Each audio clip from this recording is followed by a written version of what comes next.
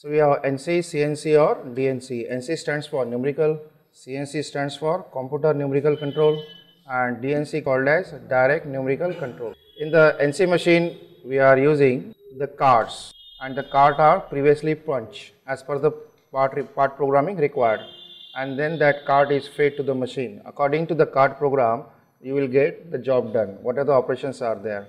In the computer controlled numerical uh, machine, we have a small computer attached to the machine and using that small computer you can program it and you can make the part program also. So program can be altered or can be changed as per the requirement in the computer control system. The number of advantages of computer control system is that you can adjust the step control, then you can adjust the contour control, you can change the angle of rotations, all these programs are possible in computer control. So nowadays numerical control is absolute. Rather than this we are using the computer control.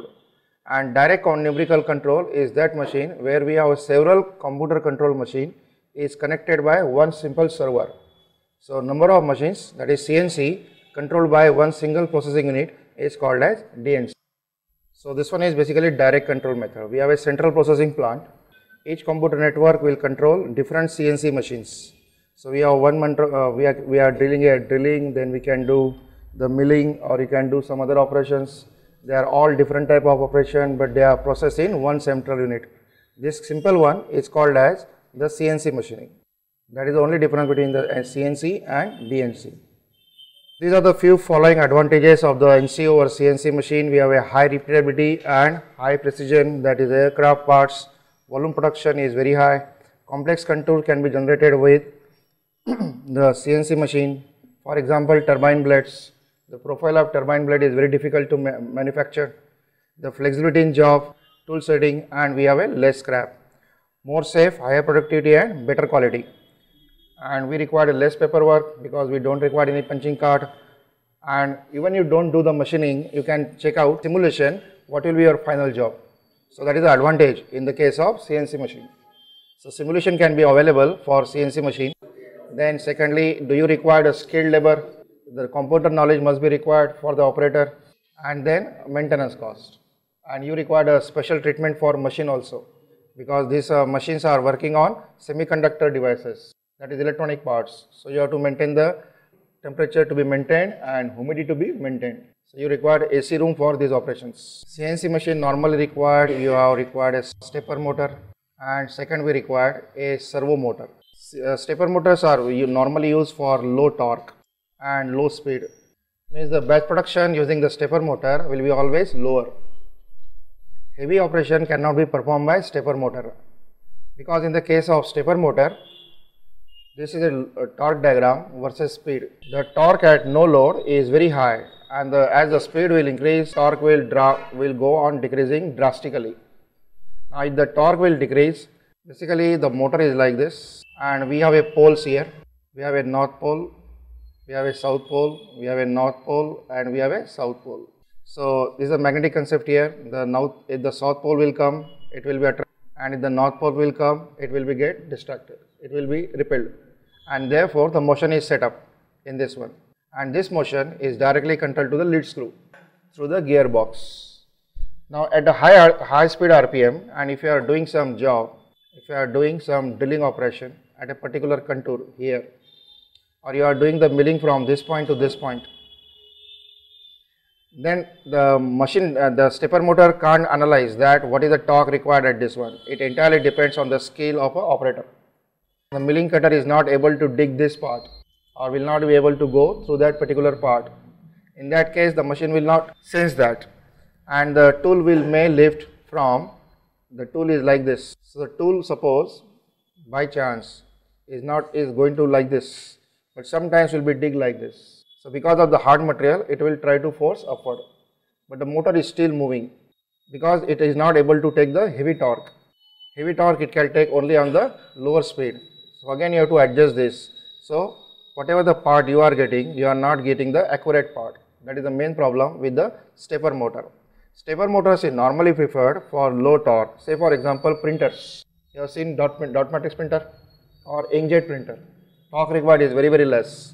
So you write one line here, then you write second line, third line and every time it will be get back. So at every time you can move this paper by certain inches. Whereas the rotation of this one will rotate it one step complete. As far as a simple electric motor is there, we are not able to control the speed of this one. We can control the speed, but we are not able to control the angular motion. That is this motion we are not able to control. The step is not there because if you are moving your printer head from this point to this point, it is not a one rotation. It is a few degree of rotation. It is a few degree of rotation. That few degree of rotation is possible with the help of stepper motor and servo motor.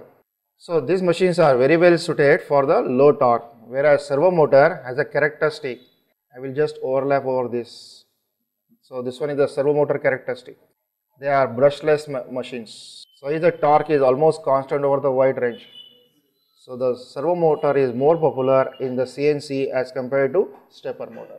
Stepper motors, the name stepper come from the steps made by the motor with every signal pulse. It is simple to operate, inexpensive compared to the servo motors and has a high reported accuracy. It's a low speed torque that is the only issue. Enables the use of pulley reduction or timing belt allowing the several loads to be gearing. Exactly the stepper motor works. So this one is one disc and there are slots here. Suppose I make 360 slots in this rotor. Then each one slot is representing 1 degree that is called as step angle. Suppose I make 180 slots in this one, one slot will represent 2 degree of rotation. So whatever the shaft we have here, can we rotate this shaft by 2 degree and if you see this one, I will just slightly enlarge it. Suppose I say this one is a shaft and this one is the side view of this one. So suppose I say this is my movement and these are 180 holes 180 holes means we have total 360 degree. So one hole has accuracy equals to 360 divided by 180 that is corresponds to what 2 degree. Now you can imagine what is the 2 degree. So 2 degree means 2 divided by 360 multiplied by 1 cycle that is equal to 1 divided by 180 cycle. Can you control 1 by 180 cycle? Say in one cycle is this will rotate by 1 by 180 part? And suppose this one is the lead screw. Then is this distance is called as pitch. So this one is pitch will be same as lead for single start. What is the pitch and this one? Is it a distance traveled by the lead screw in one revolution? It means that if you have a nut over here if you have a nut over here that is a tool carriage then is this tool will travel distance is equals to L but that L in one revolution right now how many revolutions you are making 1 by 180 so suppose I say the pitch is 5 mm in one pulse that is from this one. This one is called as pulse, called as one pulse. If I fired one pulse, then how much angle is turned? 2 degree. Means I covered one hole. It means I covered 2 degree. 2 degree means 1 by 180 cycle. So what is the accuracy for this one? Is it 5 divided by 180? 5 divided by 180 0.027. Is it mm? mm is it equal to 27 micron means one pulse is equals to what 27 micron